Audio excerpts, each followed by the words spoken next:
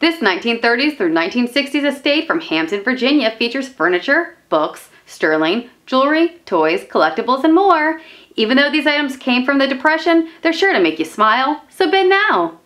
Hey, don't forget to like us on Facebook and follow us on Twitter. See ya!